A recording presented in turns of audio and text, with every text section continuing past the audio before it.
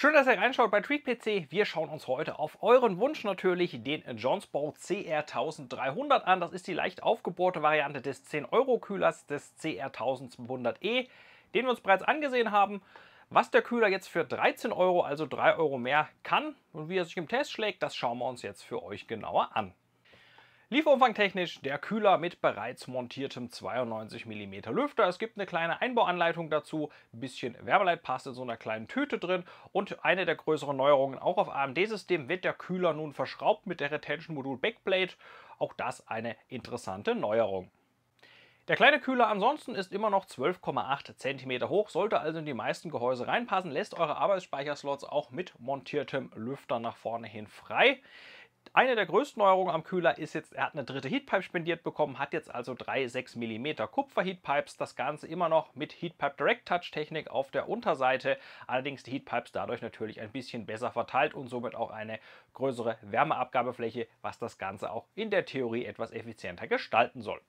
Aufgrund der drei Heatpipes hat man jetzt auch den Lüfter ein bisschen aufgebohrt. Ihr habt jetzt einen PWM-Lüfter hier drauf, beim anderen war es ja ein 3-Pin-Stecker. Der hat zudem auch noch eine höhere Maximalumdrehungszahl bei uns mit so circa 2000 500 Umdrehungen. RGB-Beleuchtung könnt ihr leider immer noch nicht anpassen. Die spielt einfach munter vor sich hin ihre Effekte ab, ist jetzt bei 13 Euro auch nicht weiter dramatisch. Und den Abschluss nach oben bei diesem Kühler bildet auch eine schwarze Kunststoffabdeckung mit einem kleinen Logo drauf. Und wie ja schon beim 1200e gibt es von unserer Seite an der Verarbeitung für 13 Euro hier absolut nichts auszusetzen am 1300er. Kurz einige Wörter zur Montage. Ich finde es bemerkenswert, dass man für 3 Euro mehr jetzt hier beim 1300er dann sowohl bei Intel als auch bei AMD auf eine Verschraubung setzt. Das ist wirklich eine gute Lösung. Bei AMD wird das Teil einfach mit der Retention-Modul Backplate verschraubt, indem ihr die AMD-Bügel an den Kühler schraubt. Und bei Intel kommt die Multi-Backplate aus dem Lieferumfang zum Einsatz. Von LGA 1700 ist auf der Verpackung allerdings keine Rede. Der Kühler passt hier auf 1200 und LGA 11.5X. Dann kommen wir zum interessanten Part, nämlich der reinen Kühlleistung. Was bringen jetzt mir also die Verbesserungen? Eine dritte Heatpipe und entsprechend auch die höhere Maximaldrehzahl.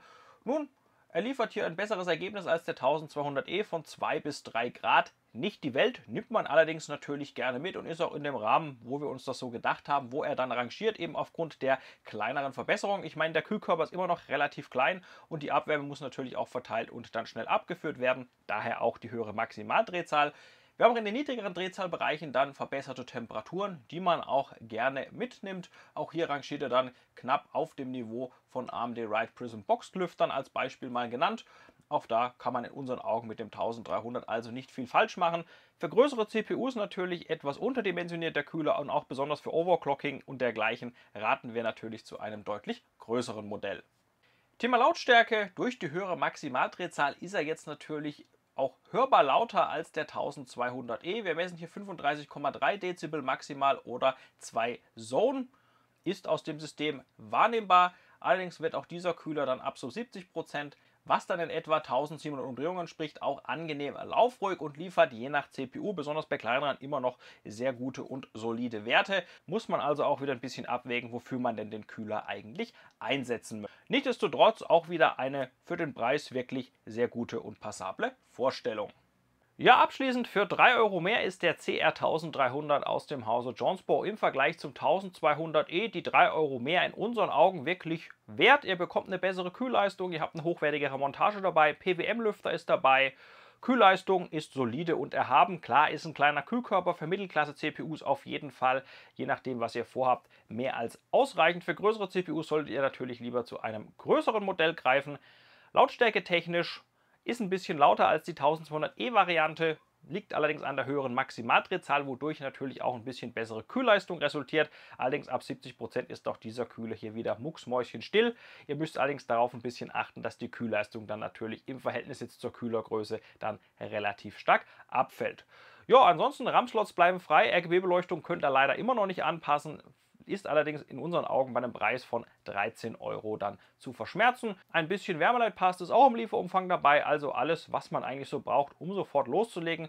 Von dem her auch von unserer Seite, wenn ihr einen preiswerten Ersatz für zum Beispiel Boxlüfter sucht, mit ein bisschen RGB dabei, das ihr allerdings nicht anpassen könnt und nicht viel Geld ausgeben möchtet, dann könnt ihr euch den Johnsport CR1300 auch ganz problemlos einfach mal ansehen. In unseren Augen wirklich ein rundum solides und gelungenes Produkt, vor allen Dingen für den Preis. Ja, das wäre es soweit von unserer Seite. Jetzt sind wir natürlich wie immer noch an eurer Meinung interessiert. Wie sieht es bei euch aus?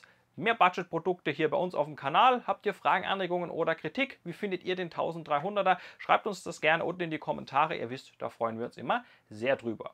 Ja, und in diesem Sinne recht herzlichen Dank, dass ihr heute bei uns reingeschaut habt. Und ihr wisst, wenn euch unsere Arbeit gefällt, freuen wir uns sehr über euren Support. Abo da lassen, Daumen nach oben, Glocke aktivieren, denn dann verpasst ihr keines mehr unserer Videos. Und dann sehen wir uns beim nächsten Mal hier bei TreePC einfach wieder.